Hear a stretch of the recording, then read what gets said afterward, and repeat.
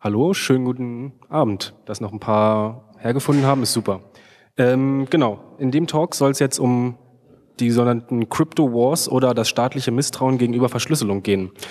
Der Hintergrund ähm, für den Vortrag lag so ein bisschen ähm, in ähm, dem nach, in der nachträglichen Diskussion um äh, Kommunikation im Internet äh, nach den Anschlägen von äh, nach den Anschlägen auf die Redaktionsräume von Charlie Hebdo in Paris am 7. Januar.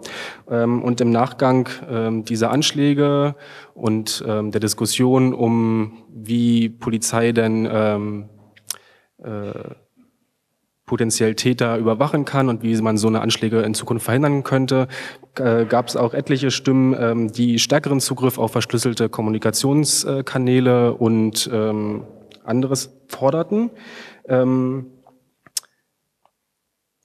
Der Grundtenor war dabei, ähm, auch diese Räume, verschlüsselte Kommunikationskanäle dürfen nicht äh, vor Überwachung geschützt sein. Ähm, hier müssen die Ermittlungsbehörden Zugriff drauf bekommen und grundsätzlich war der Tenor, verschlüsselte Kommunikation ist böse und wir müssen daran kommen.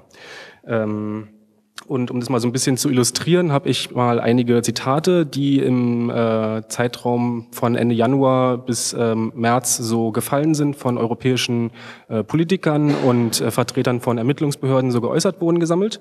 Ähm, und steigen wir doch einfach mal direkt ein ähm, mit einer Äußerung vom Antiterrorkoordinator im Rat der Europäischen Union, äh, Gilles de Kerchove, ähm, der sagte, The Commission should be invited to explore rules obliging Internet and telecommunications companies operating in the EU to provide access of relevant national authorities to communications, sharing encryption keys.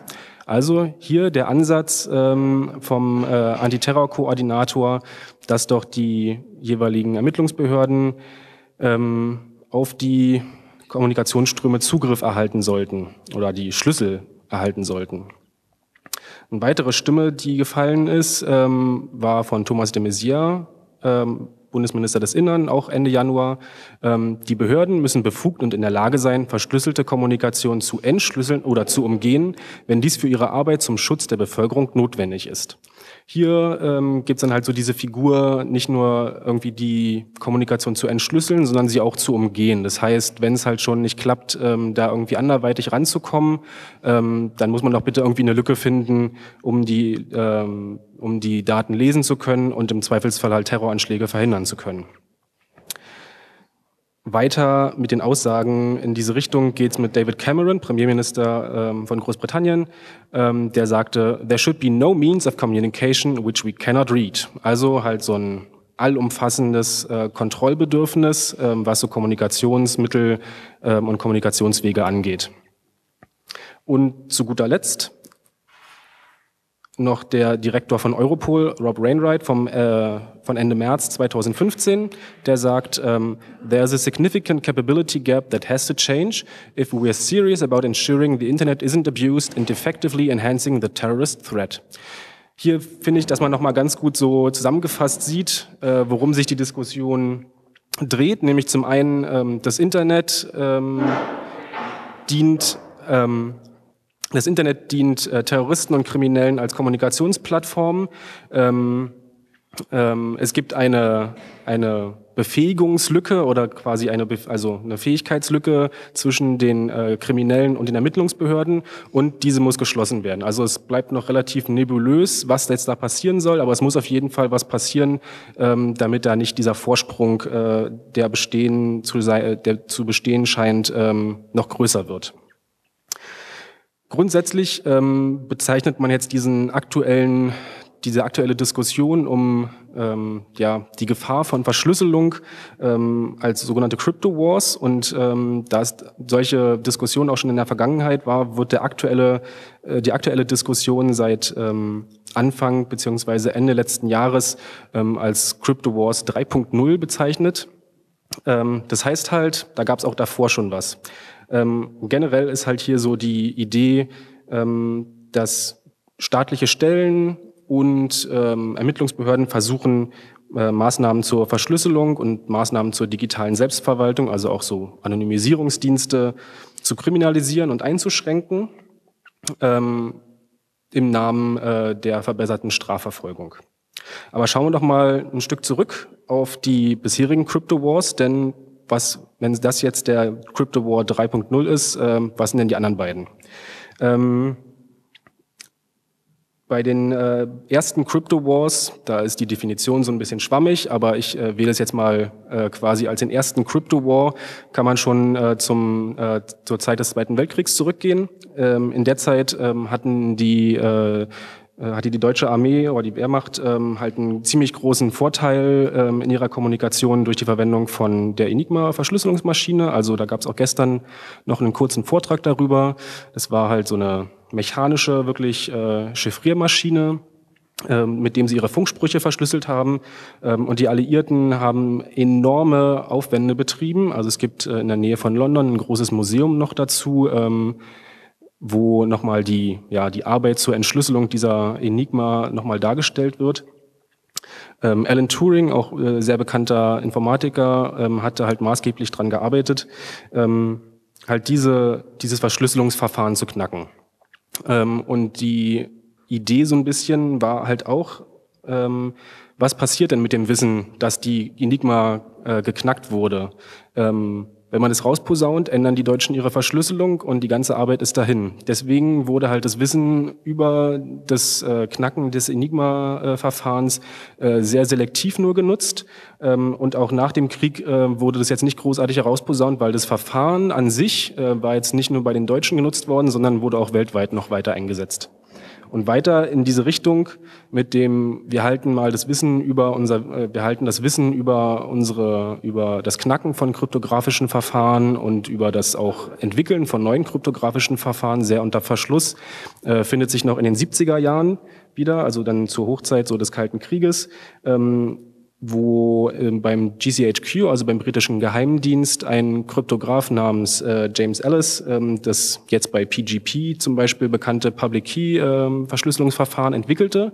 Und da aber gesagt wurde, das ist so relevant, ähm, wenn das anderen Leuten in die Hände kommt, auch wenn es halt nützlich ist, dann sind wir halt ähm, von ja dem von unserem strategischen Vorteil, was wir andere Kommunikation jetzt vielleicht lesen können, weil wir deren Verfahren geknackt haben, ausgeschlossen. Deswegen wurde das Verfahren einfach unter Verschluss gehalten. Und erst dadurch, dass nochmal äh, ein paar Jahre später andere ähm, Kryptografen dasselbe Verfahren nochmal unabhängig davon entdeckten, ähm, steht es uns heute mehr oder weniger zur Verfügung. Ähm, genau. Der zweite äh, Crypto War ähm, zieht sich so dann auch in die, äh, in die Post-Kalte äh, Kriegzeit, also in die 90er rein. Denn äh, bis zu dieser Zeit, ähm, also was ich eben gerade auch erwähnt hatte, ne, man wollte halt sehr stark kontrollieren, wer Verschlüsselung einsetzen kann und wer das Wissen darüber besitzt. Verschlüsselung und starke Verschlüsselung wurde in dieser Zeit halt Munition eingestuft. Das heißt, äh, nicht einfach so als wir diskutieren in der Universität drüber und dann gibt's ein Paper und ich veröffentliche das auch in anderen Ländern, sondern da hatten ähm, Verteidigungsministerien halt sehr stark die Hand drauf und wer das irgendwie in andere Länder exportieren wollte, musste da einen schwierigen Prozess von Exportkontrollen und so weiter durchlaufen. In den USA war es halt bis Mitte der 90er der Fall, dass nur Verschlüsselung bis maximal 40 Bit einfach so exportiert werden konnte. Das heißt also wirklich schwache Verschlüsselung. Ähm, stärkere Verschlüsselung durfte nur innerhalb des Landes verwendet werden oder musste halt dann die entsprechenden Exportgenehmigungen erlangen. Das führte dann auch so in dieser Anfangszeit äh, des Internets äh, wo, was halt, wo es halt in der Öffentlichkeit stärker benutzt wurde, dann dazu, dass zum Beispiel der Netscape-Browser, vielleicht kennen ihn einige noch, ähm, in zwei Versionen angeboten wurde, nämlich einmal in der internationalen Variante mit 40-Bit äh, SSL-Verschlüsselung und in der US-Variante mit 128-Bit SSL-Verschlüsselung. Ähm, das Problem war allerdings, ähm, dass selbst in den USA aufgrund der Verteilproblematik dieser Software auch manche einfach mit der schwachen Verschlüsselungsvariante unterwegs waren und in dieser aufkeimenden Zeit von Online-Banking und E-Commerce war das natürlich auch ein, ein Wettbewerbsnachteil, ähm, halt auf so schwache Verschlüsselungsverfahren zurückgeworfen zu werden. Ein anderer, ein anderes, ein anderer Aspekt, dem, woran man diese Diskussion und die, die aufkeimenden Konflikte um äh, diese Exportbeschränkungen gut sehen kann, ist die Entwicklung von PGP, also dem, was wir heute so für E-Mail-Verschlüsselung sehr stark immer noch einsetzen. PGP ähm, PGP ähm, war halt auch so ein starkes Verschlüsselungsverfahren und der Autor ähm, Phil Zimmerman hat es äh, hat halt auch ein Interesse daran, dieses Produkt außerhalb der USA verfügbar zu machen. War natürlich aber trotzdem durch diese Exportbeschränkung irgendwie äh, also äh, beschränkt und ähm, hat dann halt einen ziemlich interessanten Weg gewählt, nämlich er hat das Buch, er hat den Quellcode seines Programms als äh, Buch veröffentlicht über die Universität. Das waren so knapp 1000 Seiten, wiegt irgendwie mehrere Kilo. Das Buch kann man auch heute noch bei Amazon gebraucht für so 400 bis 600 Dollar kaufen. Und er hat das Buch dann halt in anderen Ländern veröffentlicht. Ähm, die Leute haben es da dann entweder eingescannt oder per Hand abgetippt, dann das Programm selbst kompiliert und konnten so halt äh, Zugriff auf diese starken Verschlüsselungsmechanismen äh, gewinnen. Die US-Regierung hat halt äh, lange Zeit versucht, ihm daraus irgendwie einen Strick zu drehen. Ja, er hätte irgendwie Exportbeschränkungen und so weiter miss, äh, gebrochen. Ähm, aber äh, zuletzt, also ihm half halt durch dieses, durch diesen Ansatz, äh, er veröffentlicht es als Buch, ähm, half ihm halt der erste Zusatzartikel der US-Verfassung. Äh, freie Rede ist ein Buch, es darf veröffentlicht werden und damit ähm, war das halt okay. Ähm, ein anderer Ansatz, ähm, neben dieser Exportbeschränkung, ähm, war halt der Versuch, äh, starke Verschlüsselung halt sehr unter staatliche Kontrolle zu kriegen. Also wenn wir das schon haben, war die Idee, okay, dann wollen wir aber auf jeden Fall die Hand drauf haben und wir wollen am besten auch immer mitlesen können, wenn notwendig. Und ähm, da gab es sowohl in der BRD als auch in den USA Versuche, solche Systeme einzuführen. Also vielleicht erinnern sich noch ein paar Leute an Manfred Kanter ähm, oder an Bill Clinton, ähm, die haben halt so Mitte der 90er, Anfang Mitte der 90er versucht, ähm, so Kryptographie-Chips einzuführen. Also hier sieht man einen sogenannten äh, Clipper-Chip. Äh, in, in der BRD hieß das ganze Projekt Pluto. Und ähm, die Idee dabei war, ich zitiere mal aus einem internen Papier des BKA von 98, ähm, sinnhaft wäre ein aktives Anbieten starker, starker kryptografischer Verschlüsselungsverfahren mit dem Gütesiegel des BSI, die strukturell eine Hinterlegung beinhalten. Diese müssten in der Lage sein, schnell eine große Marktdurchdringung zu erreichen. Wenn kriminelle Strukturen andere als diese Verfahren nutzen, würden sie damit einen Indikator für weitere Ermittlungen setzen. Also, die beiden, die Grundideen dieser, dieses Einführens war, ähm, es gibt einen Chip und wir haben, wir bestimmen zum einen das Verfahren, was darauf, was darauf läuft. Ähm, die Idee bei Verschlüsselungsverfahren ist ja eigentlich immer, das Verfahren ist öffentlich, aber es ist nicht so einfach knackbar, auch weil es öffentlich ist und es ist einfach als System sicher. Das Problem bei den Chips war, äh, zum Beispiel in den US, bei der US-Version, dass da die NSA einfach dieses Verfahren entwickelt hat. Niemand hat da großartig Einblick haben können. Und ähm, das absolute, also das, das Kernfeature dieses Chips war halt auch, dass die Schlüssel äh, treuhänderisch bei einer ähm, Bundesbehörde zum Beispiel hinterlegt werden sollten. Also wirklich als so integraler Bestandteil. Ähm, und falls dann mal jemand äh, quasi in den Ermittlungsfokus gerät, könnten halt Ermittlungsbehörden den Schlüssel anfordern, natürlich nur mit richterlicher Anordnung und so weiter, aber wie einfach sowas rausgegeben wird, wissen wir ja, ähm, und könnten damit halt die Verschlüsselung aufmachen. Und zweitens ähm, war das halt auch, wer was anderes benutzt, wird halt automatisch verdächtig. Das heißt, zu versuchen, andere Verschlüsselungsmaßnahmen äh, zu kriminalisieren. Ähm, nichtsdestotrotz kommt halt da so, kommen da so die ersten Konflikte ähm, zwischen äh, der IT-Industrie und so Regierungen und Ermittlungsbehörden zutage, denn ähm, so Online-Banking-Dienste und auch E-Commerce-Unternehmen hat natürlich ein starkes Interesse daran, dass diese Verschlüsselung nicht so einfach knackbar war. Denn so eine zentrale Lagerung von Schlüsseln für eventuelle Zugriffe, das ist natürlich ein perfektes Angriffsziel für alle möglichen Leute. Also Leute, die irgendwie ähm, Online-Betrug bei E-Commerce oder Online-Banking machen wollen, müssen halt nur diese eine Behörde knacken, auch wenn sie noch so gut gesichert ist. Lücken gibt's immer. Und auf einmal haben sie halt irgendwie so waschkörbeweise Schlüssel in der Hand und könnten damit alles Mögliche anstellen. Ähm, das äh, widerspricht, aber das ist halt ein absolut schlechtes, ist halt ein, ein, totales, ein totaler Makel für Produkte aus den jeweiligen Ländern, wo sowas erzwungen würde. Und so kam es halt dann dazu, dass äh, so Mitte der 90er Jahre diese Versuche mit diesen Kryptochips und auch mit den starken Exportbeschränkungen für Verschlüsselung halt gekippt wurden. Das heißt, diese äh, Kryptochips wurden in den USA 96 halt begraben und in der BRD wurde das 98 halt auch äh, ad acta gelegt.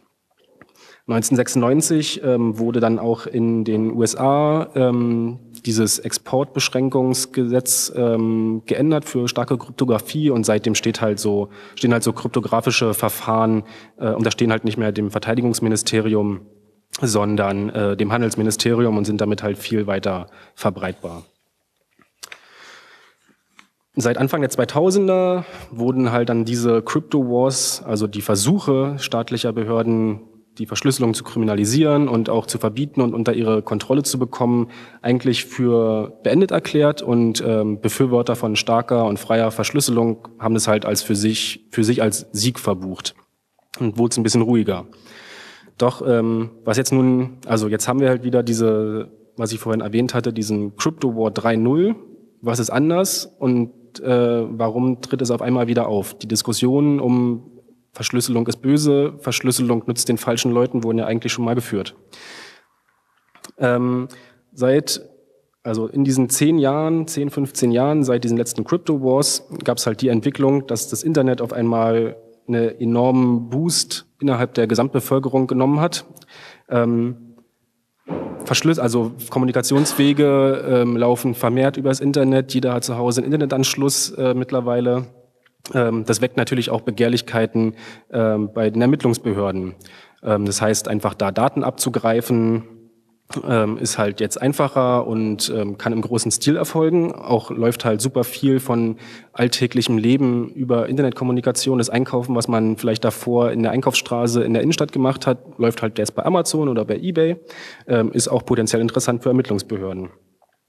Ein zweiter Aspekt, der äh, zu den neuen Crypto Wars äh, geführt hat, ähm, sind die Aufdeckungen von Edward Snowden. Das heißt, ähm, seit ähm, bekannt wurde, in welchem Stil die NSA halt ähm, Daten abgeschöpft hat und auch andere Dienste, ähm, haben halt große oder haben halt einen Großteil der Bevölkerung äh, ja so ein denen ist erstmal bewusst geworden, äh, in welcher ja wie sie ihre Privatsphäre quasi nach außen, wie ihre Privatsphäre ausgespäht wurde, ähm, haben teilweise angefangen, äh, Verschlüsselung einzusetzen, privat, aber ähm, ähm, auch große Technologiefirmen haben natürlich diesen Vertrauensverlust irgendwie versucht zu kompensieren, weil das Vertrauen, äh, was jetzt irgendwie bei äh, in so große ähm, Telekommunikationsdienste wie Google und deren Maildienste oder Facebook und so weiter, was halt da aufgetreten ist, haben sie natürlich versucht, in der einen oder anderen Weise,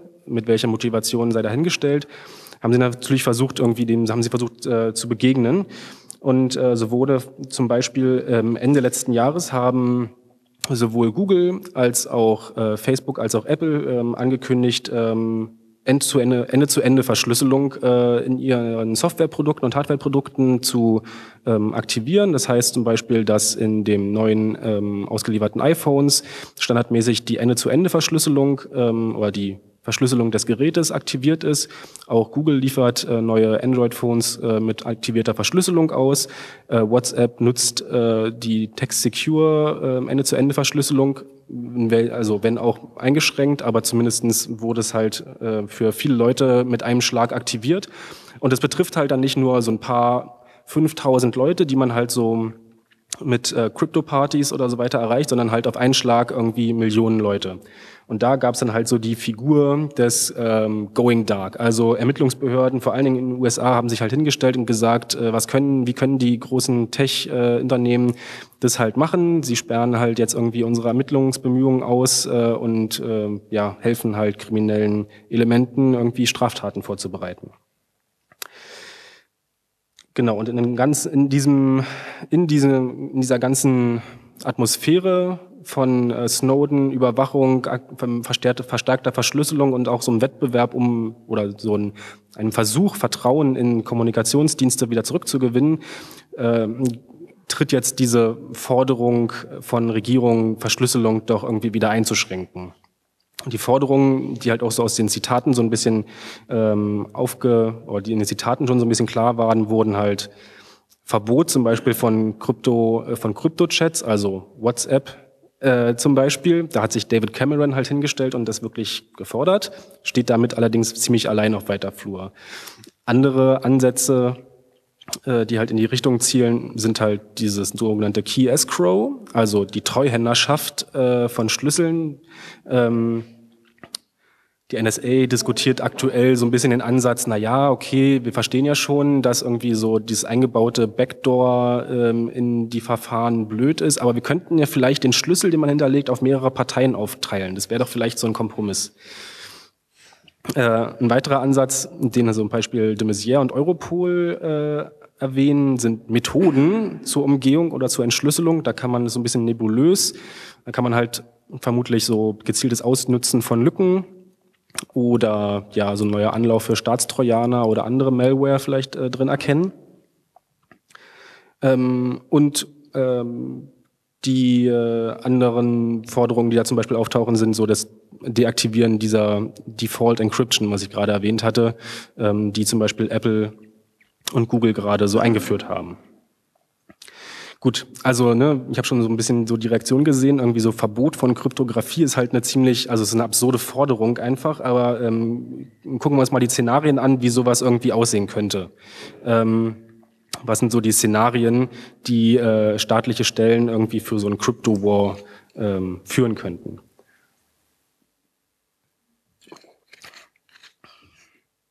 Zum einen gibt es natürlich, äh, zum einen gibt es natürlich die Möglichkeit, Verschlüsselung öffentlich zu kriminalisieren. Also weiter in die Richtung äh, zu pushen, ähm, wer Verschlüsselung nutzt, ähm, äh, hilft irgendwie Kriminellen und äh, behindert Ermittlungsbehörden und Katzen werden sterben.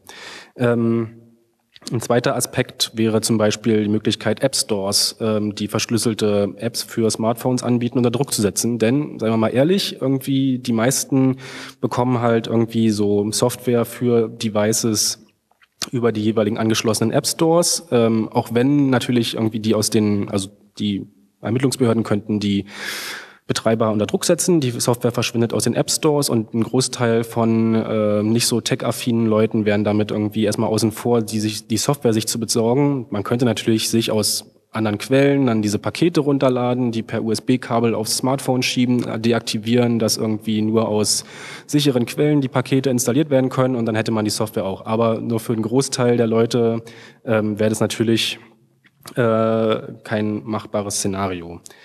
Weiterhin gäbe es natürlich die Möglichkeit, ähm, Technologiefirmen die unter Druck zu setzen, bestimmte Hintertüren zu, ähm, einzurichten. Das ist auch ein äh, mittlerweile, also es sind auch schon seit langem so begangener Weg, zum Beispiel von der NSA. Die haben ähm, seit mehreren Jahren ein äh, Programm, das nennt sich Bullrun. Ähm, oder das vergleichbare Programm wäre Edge Hill bei der GCHQ. Das kam so im Zuge dieser ganzen Snowden-Enthüllungen äh, zutage, ähm, dass die NSA so über also langfristig geplant ähm, Sicherheitslücken und äh, so Schwächen, die von nach außen erstmal nicht so aussehen, sondern eher so nach, na ja, ist halt nicht so richtig zu Ende gedacht, hat mal jemand einen Fehler gemacht, ähm, solche Verfahren halt ähm, in Softwareprodukte einzuschleusen, die mit Verschlüsselung zu tun haben, also zum Beispiel einen schlechten Zufallszahlengenerator das dann erstmal quasi Marktdurchdringung erreichen zu lassen ähm, und dann die Fehler aktiv auszunutzen, um halt bestimmte verschlüsselte Kommunikation aufzumachen.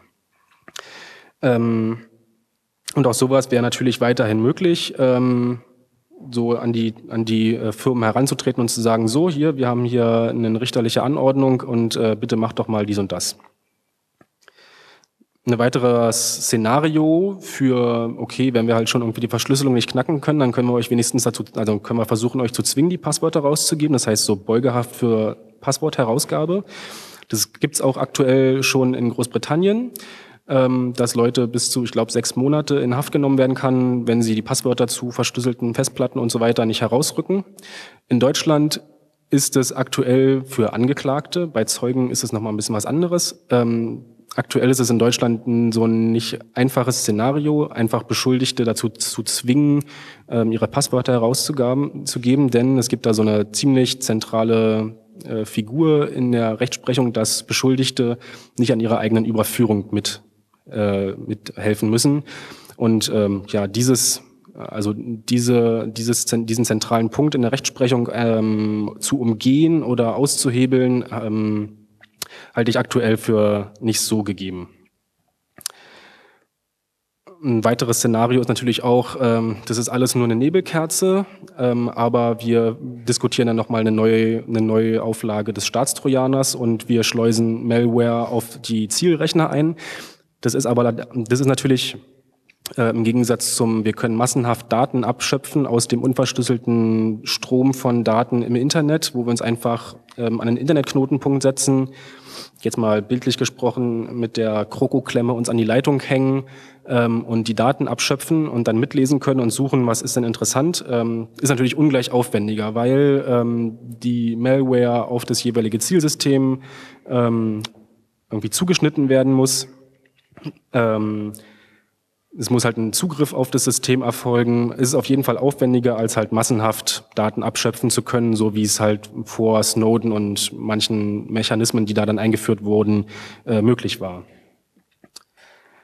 Ähm, weiterhin gibt es natürlich auch dann äh, das Szenario, dass polizeiliche ähm, dass polizeiliche Stellen immer mehr so geheimdienstliche Befugnisse erlangen, ähm, dort ähm, Informationen und äh, Technologie abgreifen können. Weil aktuell ist ja der Fall so, dass jede lokale Polizeidienststelle, also Polizeidirektion Leipzig zum Beispiel, die haben natürlich nicht eine eigene Abteilung für, oder die haben vielleicht eine eigene Abteilung, die aber, wenn dann nicht so groß, die sich halt mit dem Knacken von Verschlüsselung beschäftigen. Das heißt, ähm, wenn die was haben oder andere kleinere Polizeidirektionen, wenn die was haben, dann haben die vielleicht eine 500 Dollar Finn Fischer Lizenz, wo sie halt Passwort Brute Force durchlaufen lassen können. Und wenn es dann damit nicht klappt, dann war es das halt. Während halt große Geheimdienste natürlich ganz andere Möglichkeiten haben von großen Teams, die sich halt nur mit dem Ausnutzen von nach außen noch nicht bekannten Sicherheitslücken in Verschlüsselungsalgorithmen beschäftigen. Und das Szenario wäre halt, ähm, dass ähm, die geheimdienstlichen äh, Tätigkeiten da immer weiter so in den Polizeialltag äh, reinwabern ähm, in Deutschland gibt es halt da aktuell, oder gibt es halt bisher eigentlich dann noch immer ein ziemlich striktes, eine ziemlich strikte Trennung, äh, auf dem Papier zumindestens aus der ähm, Erfahrung des Dritten Reiches. Ähm, in anderen europäischen Ländern ist es allerdings nicht so, äh, wird es nicht so eng gesehen und das Szenario wäre halt, dass das einfach ähm, so von europäischer Ebene immer mehr dann ähm, in die deutsche Rechtsprechung auch und deutsche Praxis reinwabert. Genau. Und natürlich nicht zuletzt, ähm, gäbe es halt auch den, die Idee, dass ähm, das alles nur ein neuer Anlauf für eine Vorratsdatenspeicherung ist, in welcher Form auch immer. Das heißt, okay, wir diskutieren jetzt, okay, wir kommen an die Verschlüsselung nicht ran. Das macht natürlich auch Probleme auf. Ähm, die Konflikte zwischen ähm, Wirtschaft, äh, Spionage, Schutz und den Diensten, die ermitteln wollen und den IT-Firmen, die mit Sicherheit werben wollen. Denn also ähm, Deutschland hat sich ja, stellt sich ja einerseits hin und will so Datenschutzstandort Nummer eins in Europa werden und andererseits wollen sie halt so Verschlüsselung und äh, Datenschutz wieder so eindämmen. Da gibt's natürlich unterschiedliche Interessen. Nichtsdestotrotz kann dann am Ende einfach rauskommen, okay, das klappt alles nicht, ähm, wir brauchen aber die Vorratsdatenspeicherung und dann ist es halt dann der Kompromiss, der dabei rausfällt. Ähm, ganz interessant ist an dem, an, an dem Punkt auch, dass die USA, die ja auch so vehement schon diese Szenarien fordern, ja, wir brauchen äh, eingebaute Hintertüren oder ähm, so ein schönes Zitat äh, vom FBI, ähm, vom FBI-Direktor äh, James Comey, Uh, we aren't seeking a backdoor approach. We want to use the front door with clarity and transparency and with a clear guidance provided by law. Also es wird dann so schön positiv formuliert. Wir wollen kein Hintertürchen, wo man so sich so reinschleicht, sondern wir wollen so eine schöne Vordertür, die so offen sichtbar ist.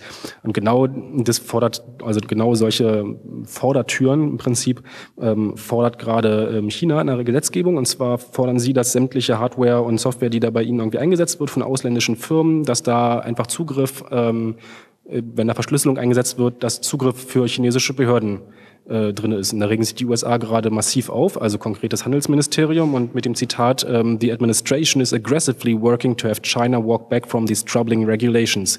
Also einerseits zu fordern, wir wollen die Hintertüren und andererseits von anderen Ländern natürlich total schockiert sein, wenn sie genau das Gleiche fordern.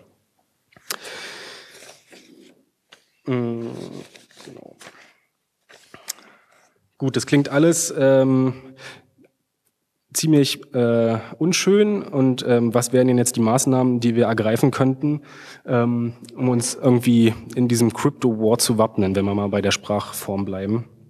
Zum einen ist es natürlich der Ansatz, Verschlüsseln ist ein Grundrecht. Ne, nicht nur, also zu, als rückzugehen auf, äh, rückgreifend auf die, auf diese Sprachform Privatsphäre ist ein Grundrecht. Auch hier zu sagen, verschlüsseln ähm, muss ich mir nicht irgendwie, da muss ich mich nicht erklären, warum ich das mache. Ähm, verschlüsseln darf jeder und ich lasse mich nicht dafür nicht kriminalisieren. Also ne, mit diesem, mit Hinblick auf nur Kriminelle nutzen Verschlüsselung. Ein weiterer Aspekt wäre auch, ähm, Infrastruktur zu dezentralisieren.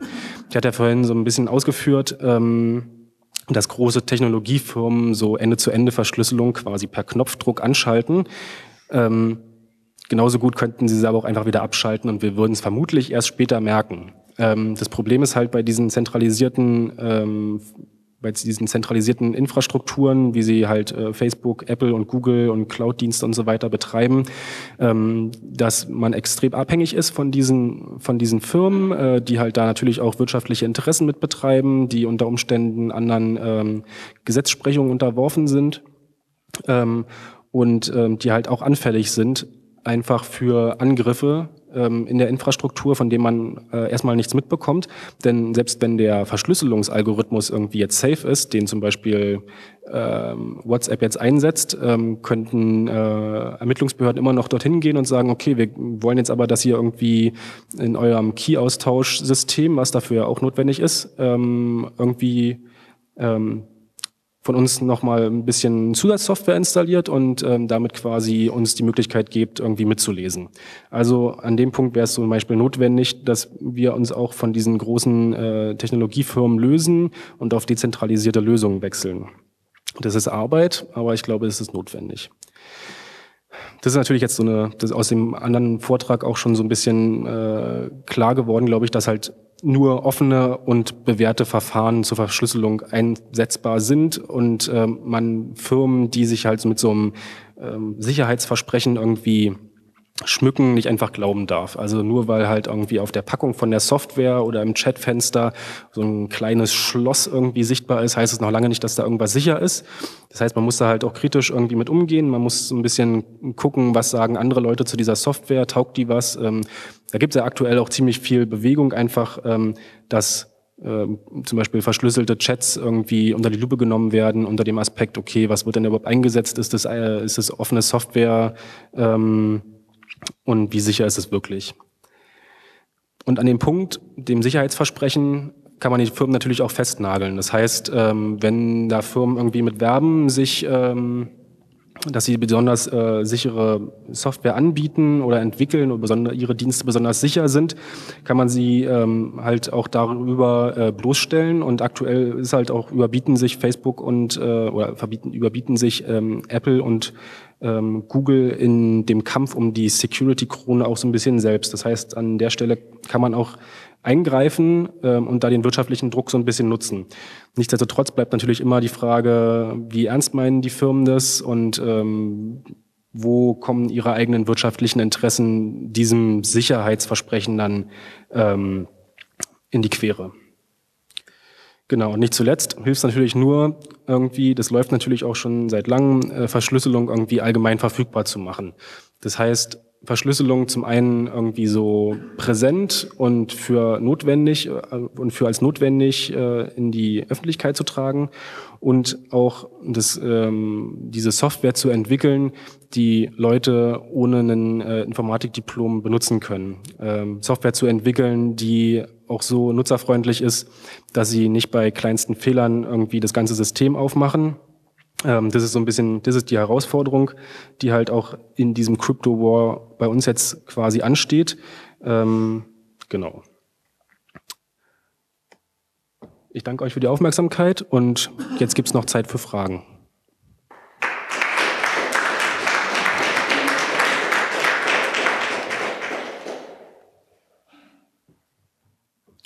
Ich finde, Du hast, oder in, in dieser Liste von Szenarien fehlt ein Szenario und zwar äh, die Baseband-Prozessoren in Mobiltelefonen. Also wenige Leute wissen, dass äh, es zwei, in der Regel zwei Chips gibt in einem Mobiltelefon. Das eine ist für die, die schöne bunte Oberfläche da und das andere ist für die Kommunikation äh, mit dem Mobilfunknetz da. Und der andere Chip, äh, über den weiß man sehr, sehr wenig und, ist, äh, und das, was man weiß, äh, sagt aus, dass im Wesentlichen über äh, das Mobilfunknetz dieser eine Chip äh, ferngesteuert werden kann und dieser eine Chip wiederum kann den anderen Chip ferngesteuern, sodass letztendlich äh, über das Mobilfunknetz äh, ähm, kompletter Zugriff auf alle Mobiltelefone vorherrscht und da äh, die Mobiltelefone wiederum das digitale Gerät äh, sind, was die meisten Leute nutzen, äh, sehe ich das als aktuelles, als, als das größte problematische Szenario, was nicht nur potenziell Zukunft ist, sondern das, das äh, ist auch der Fall. Also bei Charlie Hebdo äh, wurde ja gesagt, der eine Angreifer oder so hätte vergessen, sein Telefon aufzulegen, äh, als er irgendwie mit der Polizei verhandelt hätte. Und dann hätten sie bemerkt, dass er irgendwie äh, gebetet hätte und dann haben sie Zugriff gemacht. Das ist natürlich Quatsch. Die haben äh, sein Telefon äh, aus der Ferne angeschaltet mit einem entsprechenden Exploit. Danke für die Ergänzung. Gibt es noch weitere Ergänzungen oder Diskussionsbeiträge? Vielen Dank für den Vortrag. Ich fand das super, mal ein bisschen nicht so technische, sondern ein bisschen übergeordnete Sichtweise zu sehen. Ähm, was ich mich jetzt frage, ist, ist ja ein politisches Problem und ich vermute, das kann man nur mit Druck gegen oder auf die Politik lösen. Woher sollte da der Druck kommen? Reicht es, wenn der Druck aus der IT-Industrie aus der IT-Industrie kommt? Muss der Druck aus der Bevölkerung kommen? Und wie würdest du einschätzen, Passiert das? Ich bin da so ein bisschen pessimistisch.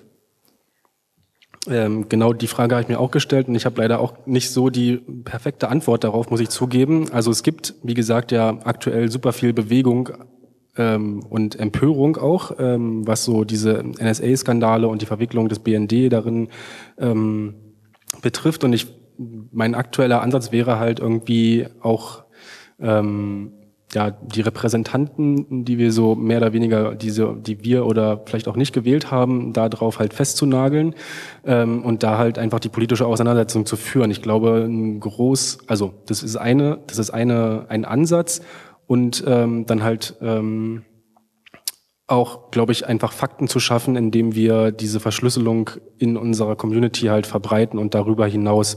Ich glaube, ähm, Patentrezepte und einfache Lösungen wird es ja nicht geben und auch wahrscheinlich, wahrscheinlich nicht einfacher, weil der, die Dienste sind halt extrem mächtig, haben enorm viel Geld und ähm, sind uns wahrscheinlich in der Entwicklung auch nochmal fünf Jahre voraus. Aber es gibt halt ne, den politischen Weg und dann den selbstorganisiert, organis also den selbstorganisierten technischen Weg, den wir halt selber beschreiten können.